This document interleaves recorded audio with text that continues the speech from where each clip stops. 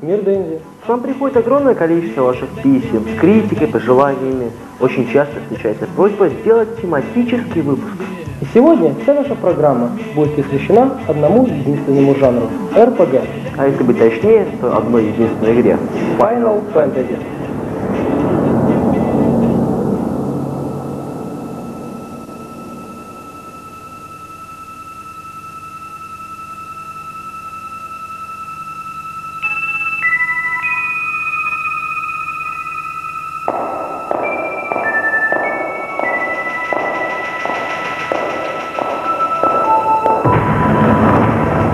Не спорю, есть в нашем городе геймеры со стажем, которые успели поиграть во все шесть частей Final Fantasy.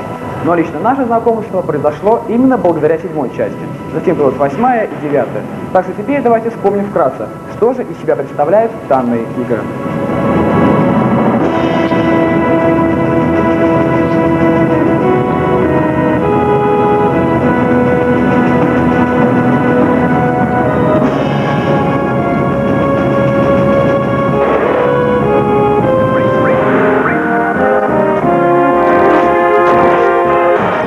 И начнем мы именно с той части Final Fantasy, которая не только нам, но и всему миру открыла жанр японской RPG. Да простят нас фанаты более древних частей, но по статистике этой игрой оказалась несравненная Final Fantasy VII.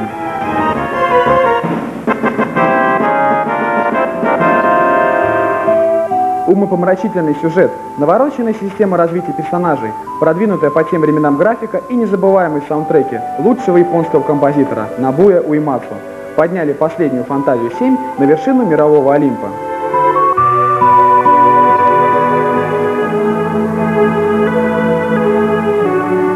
Лично для нашего коллектива лето 97 года ознаменовало приход нового жанра в нашу геймеровскую жизнь.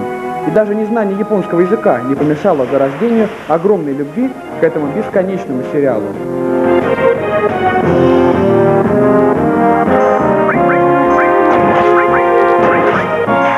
Как сейчас помню, зашкаливший на 99 часах счетчик времени, исхоженный вдоль и поперек карту, золотого чокоба и выкрикнутые на последних ролях клятвы, что бы ни случилось, дождаться восьмой части Final Fantasy. Ждать пришлось два года, пока коробочка с четырьмя дисками не оказалась в наших трясущихся от нетерпения руках.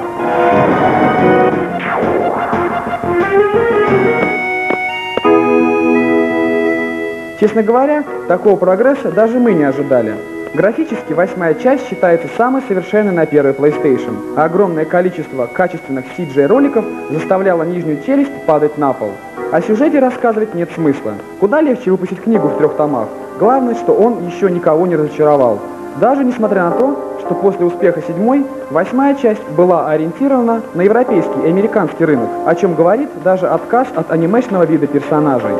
Также из нововведений можно отметить появление увлекательной карточной игры, совершенно новую систему развития и магии, а также огромное количество старых и новых джеров. Нельзя также забыть и финальную песню «Eyes on Me», которая для многих фенов сериала стала настоящим гимном РПГ и венком творчества вышеназванного композитора. Именно эта игра разошлась наибольшим тиражом, что в очередной раз показало профессионализм Squire.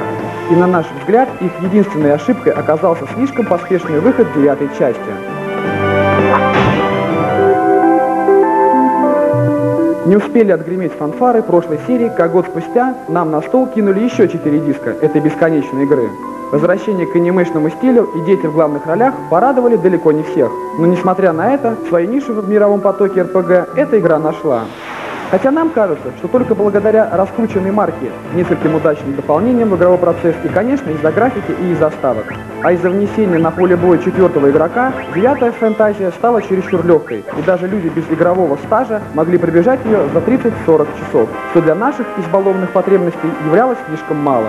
Ну а главной нашей ошибкой оказался именно тот фактор, что мы ждали от этой игры очень многого, а получили очередную серию Final Fantasy, которой уделили наименьшее игровое время. Хотя, с другой стороны, никто и не спорит, что это была хитовая, но слишком блеклая игра на фоне двух предыдущих серий. Пройдя очередную сказку и положив диски пылиться на полку, мы попрощались с последней фантазией. Наступил новый век. Новые технологии ворвались в наши дома. И в мае 2002 года настало время вспомнить Squire, которая к началу летней сессии преподнесла нам лучшую игру за всю историю своего существования. Забыв про экзамены, мы погрузились в мир Final Fantasy X. Лучший подарок лета – роликовые коньки. Всех размеров и по доступным ценам. Раздвижные модели Fit Go и Орландо. Только в магазине Дом Деньги. 47 41 96. Богдана Хмельницкого 33.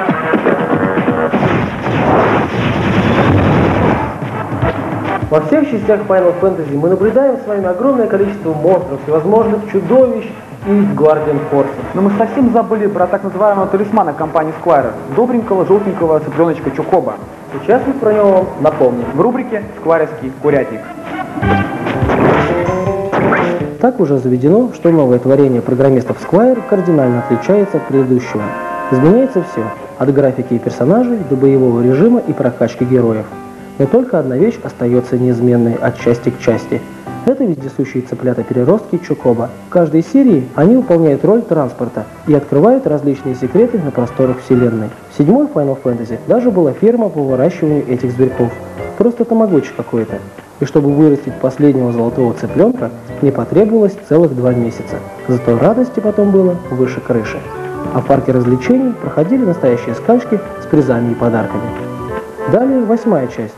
Никого здесь выращивать было не нужно. Приходим в волшебный лес, покупаем и катаемся на здоровье. Хотя владельцы специальных Memory Pack могли в полной мере насладиться выращиванием этих зверьков. К сожалению, этот прибамбас до нашей страны так и не добрался. Порадовала меня девятая часть серии.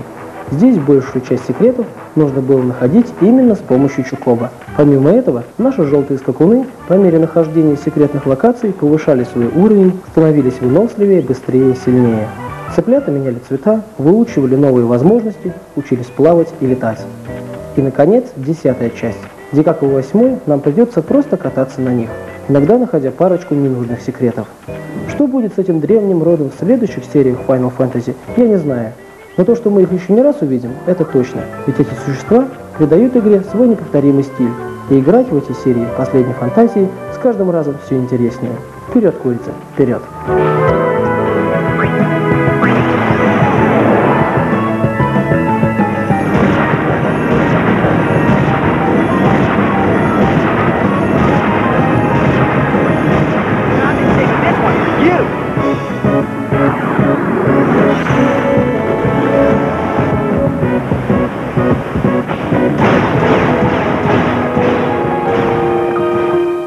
Что никто из вас и не сомневался, что основной упор в нашем сегодняшнем выпуске будет сделан на самую последнюю фантазию, в прямом смысле этого слова. Так что встречайте десятую часть этого непревзойденного сквайровского хита. Сбылась мечта геймера. Final Fantasy X шествует по всему миру и собирает всевозможные премии. Эту игру уже сейчас называют лучшей RPG за все существование этого столь популярного жанра. Все на высоте. Графика, музыка, геймплей сюжет. По сравнению с девятой частью, серия Final Fantasy совершила просто революционный скачок, и PlayStation 2 как нельзя лучше подошла под сквайровские запросы. Сама игра выглядит как заставки в предыдущих частях, а про качество компьютерных заставок уже и говорить нечего. Очень порадовала доскональная озвучка всех сюжетных диалогов. И теперь, зная английский язык, можно и не читать, а слушать сюжет. Кстати, о сюжете. Еще до появления игры в нашем городе я прочитал, что десятая часть будет самой трагичной, и только пройдя ее полностью, понял, насколько были правы разработчики.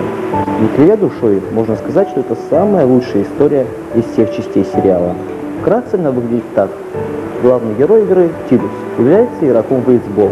Во время матча на его город нападает физическое воплощение всего зла – Син. Очутившись в незнакомом месте, Титус узнает, что его город Занаркен уничтожен тысячу лет назад. В поисках ответов он знакомится с девушкой Юной и ее друзьями, и узнав, что они охотятся за Сином, отправляется с ними. С виду все просто, но после каждого поворота сюжета понимаешь, что ошибался. Бывает, подолгу приходится сидеть у экрана телевизора, пытаясь разобрать, что же произошло за последним диалогом. Что не говори, а красивые сказки у Сквайр всегда получаются на отлично. А колоритные популярные персонажи и подавно, но о них чуть попозже. Также нельзя не отметить музыкальное сопровождение, сильно влияющее на общую популярность игры. Бессменный композитор Набуева Ямацу опять порадовал любителя своего творчества и даже рискнул изменить стиль, написав для десятой части одну тяжелую композицию. Да что здесь говорить? Вкратце рассмотрев основные достоинства и отсутствие недостатков, мы пришли к тому, с чего начали. Final Fantasy X – стопроцентный хит и лучшая RPG. Найди свою игру. Компьютерная приставка, видеоигра, картридж, диск, журнал или самый обыкновенный джойстик. В магазине Дом Дэнди. Все это и многое другое. Огромный выбор. Вау! Виртуальная страна для реальных геймеров. Альтернативы нет. Дом Денди. 47 41 96. Богдана Хмельницкого, 33.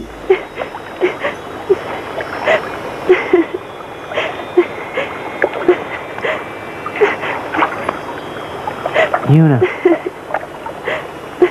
А сейчас, дорогие телезрители, немного отдохните и посмотрите самую красивую заставку Final Fantasy X. Короче, время отдыхать.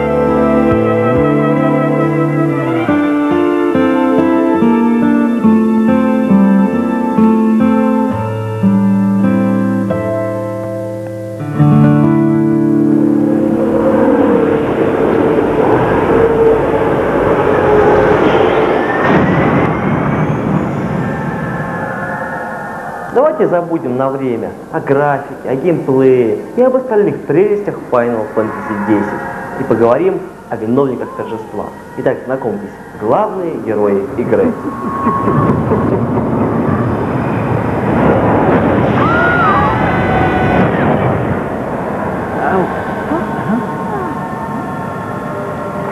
Ну что ж, настало время познакомить вас с виновниками торжества. Встречайте, главные герои игры. Тидус, капитан бейсбольной команды Занакен, города, уничтоженного тысячу лет назад.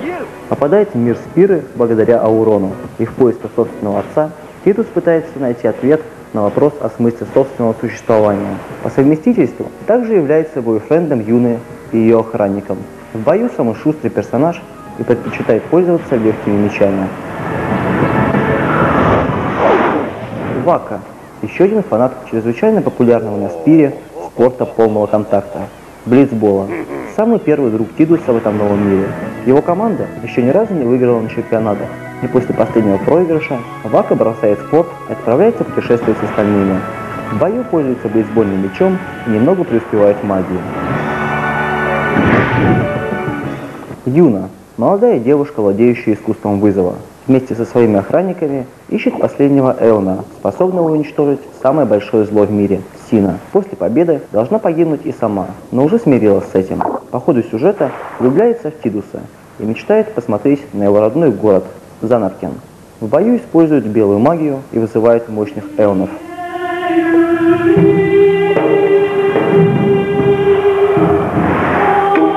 You shouldn't have brought him here in the Лулу. first place. Двойная сестра Юны и охранник со стажем. Очень беспокоится за младшую сестренку и критически относится ко всем новым людям. Очень умный и проницательный человек, о чем мы будем убеждаться по ходу всей игры. Вечно носит на руках Мога, знакомого всем фанатам серии. Чистокровная последовательница черной магии, и поэтому в боях использует только ее. Кимари – представитель народа Ронса, опекун Юны с раннего детства, ради которой и ушел из родного края. Кимари не очень разговорчив, но всегда готов порвать глотку любому, кто посмотрит на его обломный рог искоса. Превосходный воин, в бою использует алибарду и может изучать возможности противника. Типичная материя Enemy Skill и седьмой части Final Fantasy. Аурон – старый друг отцов Юны и Тидуса. Следит и учит жизни их обоих.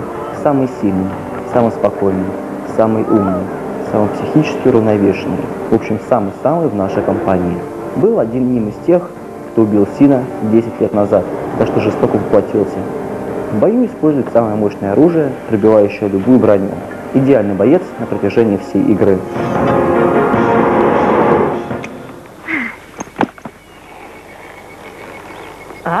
Рику принадлежит народу Албет, фанатичным приверженцам высоких технологий и роботов.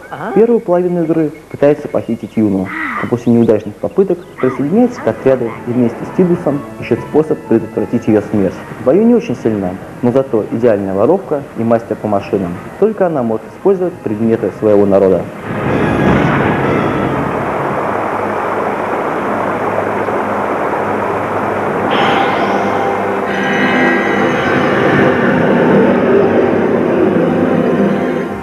Самый Гвардиан Форс, Эйдалоны. Эоны, Все это самая настоящая тяжелая артиллерия. во всей серии Final Fantasy. В каждой РПГ, помимо сюжета, очень важную роль занимает боевая система. В большей степени от нее зависит популярность игры.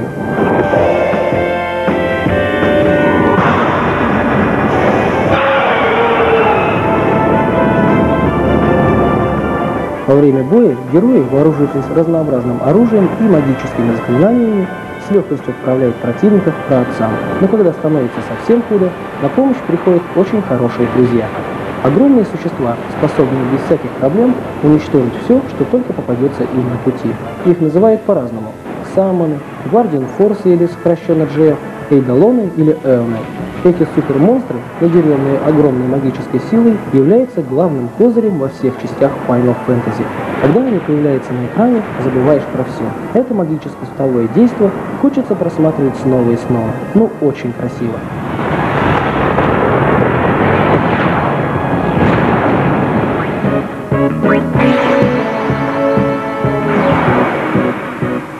Всех фантазиях программисты придумали что-то новое. Например, в седьмой части их использовали как простую магию. В восьмой же без них герой просто не становился сильнее, так как они полностью владели всеми навыками и способностями по прокачке персонажа.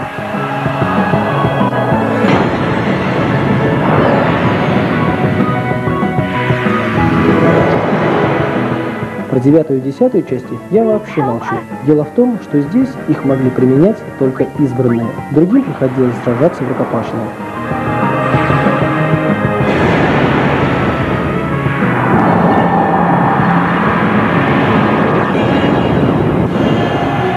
Десятый Final Fantasy дошло даже до того, что теперь вызов Эона он будет драться против врага как отдельный персонаж со своими ударами и магией.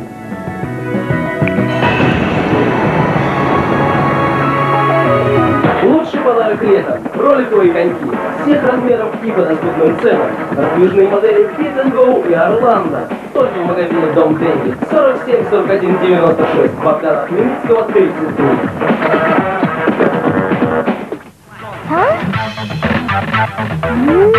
Ну вот, к сожалению, наш тематический выпуск подошел к своему завершению. У нас не остается даже времени, чтобы с вами попрощаться. Надеюсь, вам понравилась наша сегодняшняя передача. Пишите нам и не забывайте, что ровно через неделю Мы с вами встретимся. Пока.